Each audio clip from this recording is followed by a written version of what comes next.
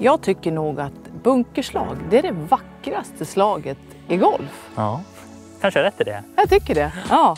Men det är inte alltid så lätt. Eh, och det är många som inte tycker som jag tycker.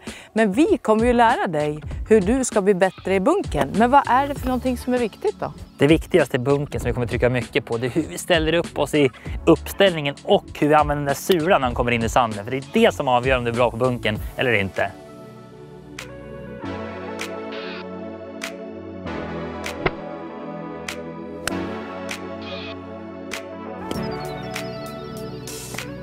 Så häng med oss så kommer vi att hjälpa dig att kunna analysera vad gör jag för fel i bunkern och vad är det för någonting som är viktigt. Så kanske du också tycker att bunkerslag är det vackraste slaget i din bag.